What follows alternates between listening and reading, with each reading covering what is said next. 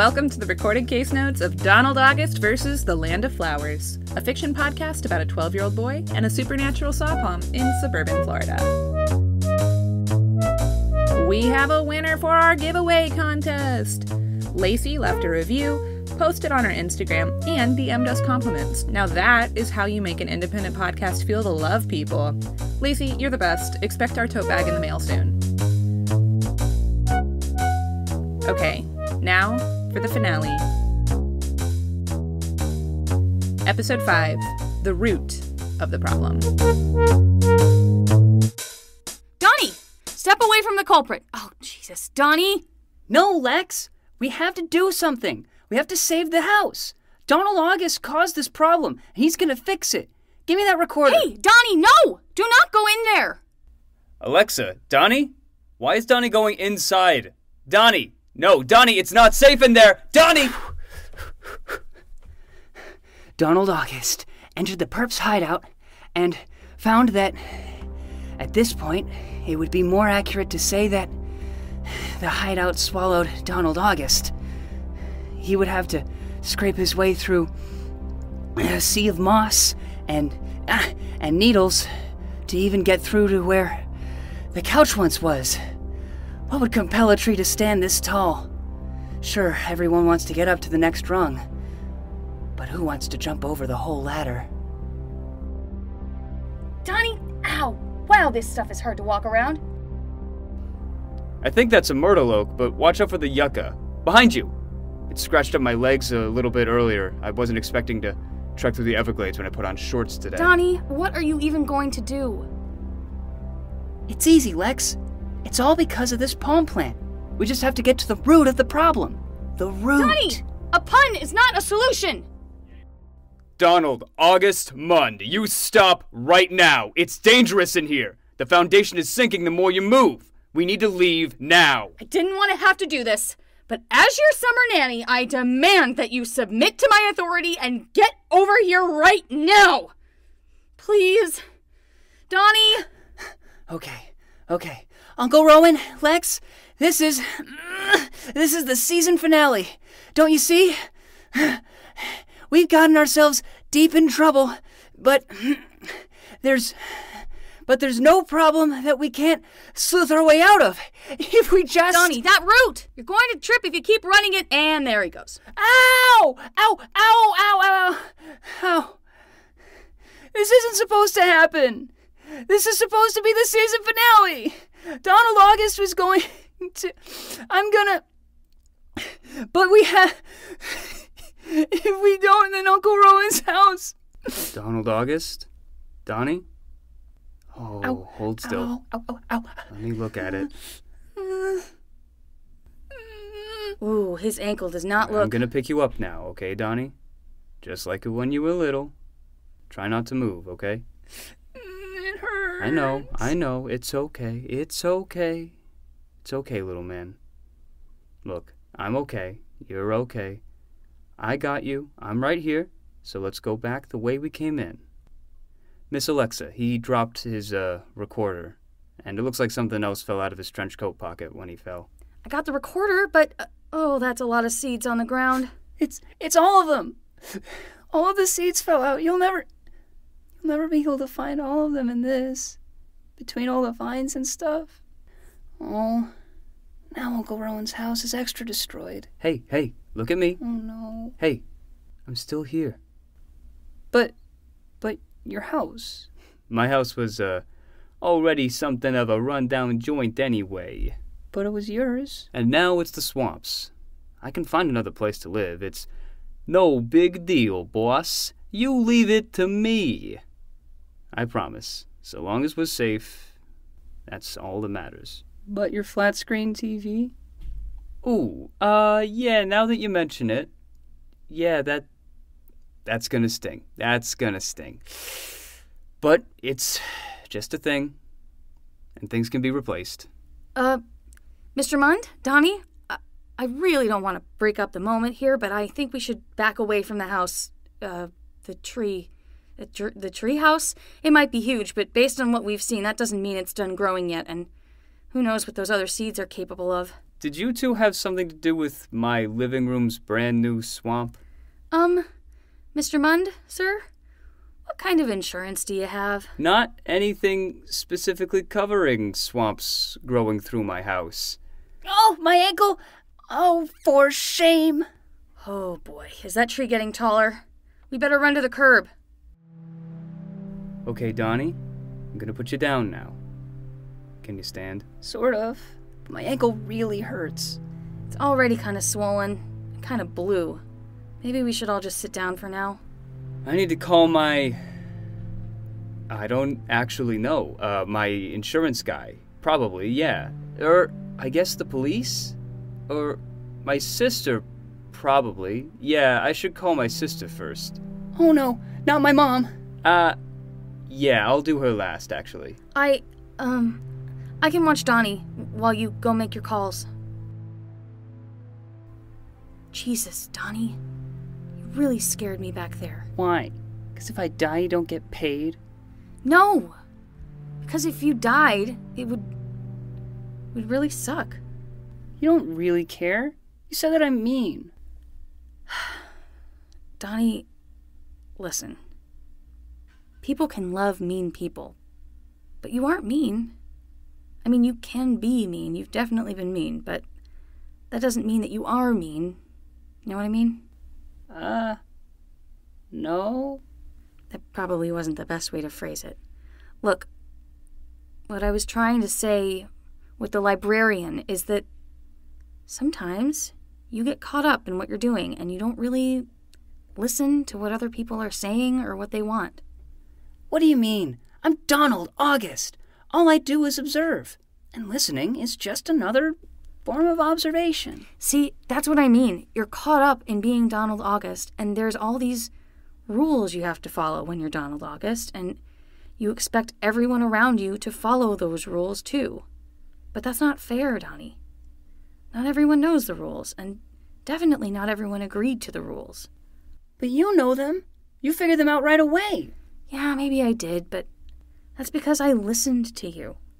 And if you don't want people to think you're mean, then you need to listen to them too. All right, all right, I get it. Listen, I'm listening. You can still talk too, just listen to people and talk to them. Okay, phew. And I'm sorry, Lex. I'm sorry that I made you my assistant in a game you didn't want to play in the first place. Well, it ended up being pretty fun, but also terrifying. I think we can call it even.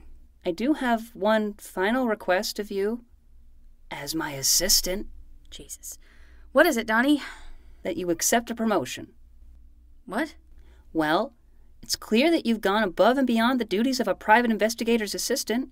You were the one that was literally driving the investigation for the last few days. I think it's time you took the oath. Another assistant's oath? No, the oath.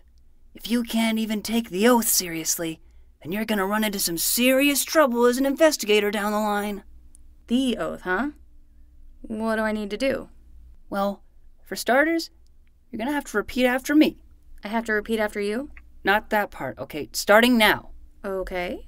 I swear on my honor and my blood. I swear on my honor and my blood. Patience, Donald August. She's a wild card, always has been. It's why she'll be fundamental in solving future mysteries. It's not up to you how she does the oath. I swear on my honor and my blood I swear on my honor and my blood to uphold the code of the private investigators, to uphold the code of the private investigator, to find mysteries, not make them, to find mysteries, not make them, and to look at the world with new eyes every day. and to look at the world with new eyes every day. Great, you're in. You're a PI.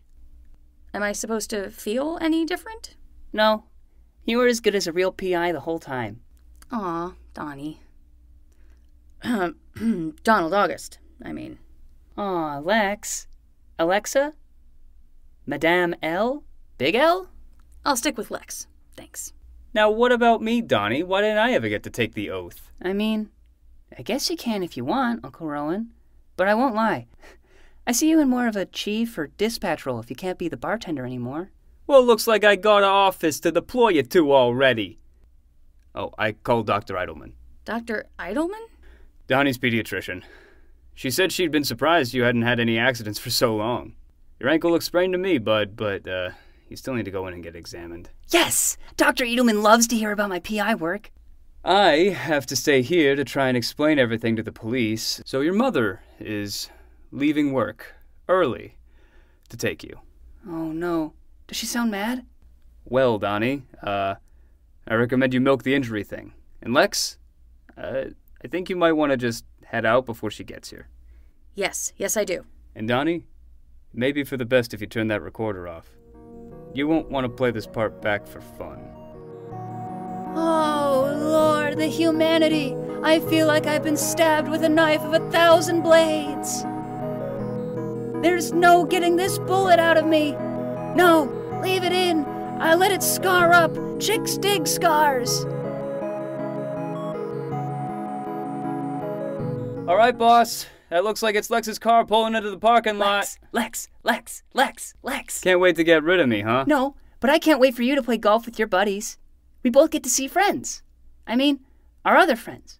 You're still my best friend, Uncle Rowan. I'm flattered, Donnie, but it's like your friend Evelyn said when she was here the other day.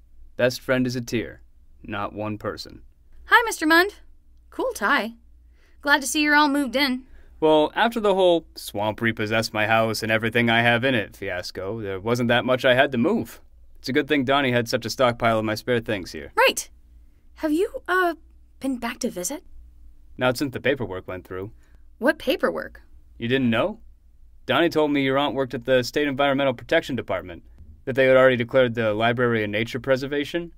I called her last week, and the state made my house an official nature preserve. There's a lot of uh, paperwork with the HOA since it's right in the middle of whether we're planning on building a mall. No Applebee's for us. No settling on flavorless food, right? That's right, Donnie. No flavorless food for us. Oh, and that reminds me, I need to put uh, cereal bowls in the dishwasher before I go. Hi, Donnie. Whoa, are you still investigating despite doctor's orders? You're still recording. Crime doesn't stop just because I'm on crutches. But crime does sit down to talk with me now, because it's hard to hold the recorder and the crutches at the same time. Also, it's just fun recording stuff. We can't get him to stop. Well, we couldn't.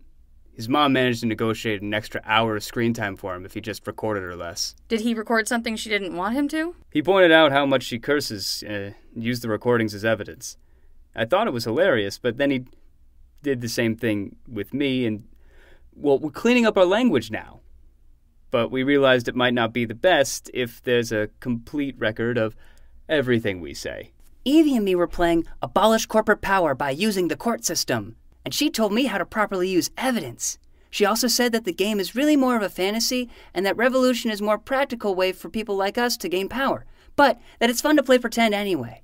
I like that girl. She's a little scary, but I like her. Wait, Evie was here? Sure, Lex. You're not my only friend. Watch it, bud. Who's to say I'm not only here to collect a check from your mom?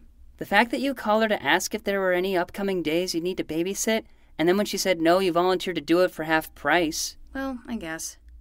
Wait, how did you know that? An investigator is always listening.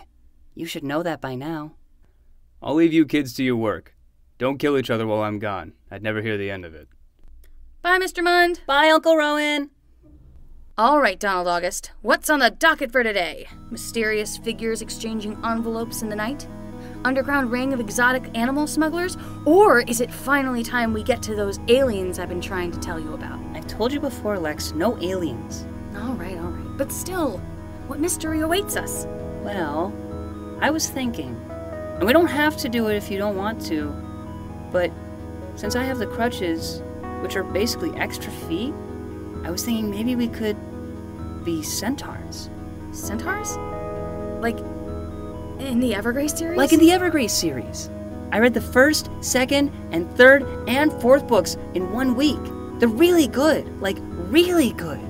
I mean, in book two, when Thoroughfang finds out that the Emerald Army is actually approaching from the south, and what her scouts saw was just Machinist projection. And then she realizes that the only way to protect her people is to destroy the Crystal Gate, even though it means she and her family will be shunned from the free pastures forever. I know! It's so good, right?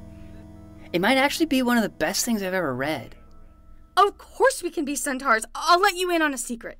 What? When we were investigating, there was a part of me that was thinking I was like a centaur then too. No wonder you're so quick on your feet. You had four of them. It's all starting to come together. Are we still going to be investigating something as centaurs? I don't know. Maybe. Probably not. It's really more that this is the only voice I know how to do. Oh, Lex, um, since the summer's almost over, it's your recorder, so. Oh. Um, you know, that's okay, Donnie. I think you should keep it for now. But I might never see you again. You'll be a freshman next year after eighth grade. I'll be a senior. You can give it back to me at school before I graduate. Does this mean we might get to investigate mysteries or play centaurs at school? Maybe outside of school hours. During school, that's a negative. What? Why can't we play during school hours? Well, Donald August, that is one mystery you're going to have to solve for yourself.